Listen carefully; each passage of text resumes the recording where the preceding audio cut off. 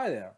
Welcome to the second video in my series on Sitecore 9.3, the latest version of the Sitecore Experience platform that was released in November 2019. In the first video, we made the necessary preparations that we need to do to install Sitecore 9.3.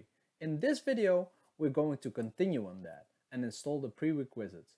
Before we actually start, first a little thing about me. My name is Robbert Hock and I'm a 10 times Sitecore MVP from the Netherlands. I'm looking forward that you will join me in the second video.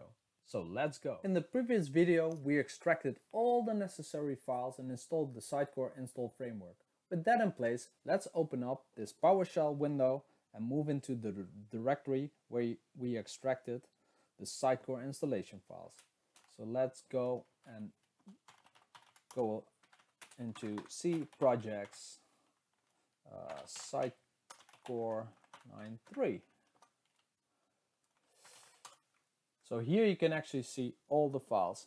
Sitecore has prepared one script for us that handles all the prerequisites. It installs several Windows features, SQL, Commons language runtime types, and installs the appropriate .NET framework versions.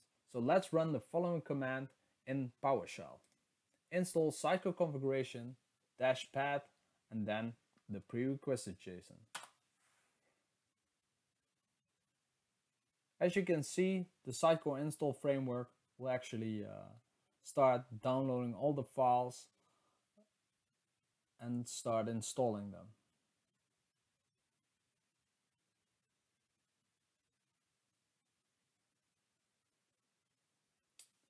And that's it.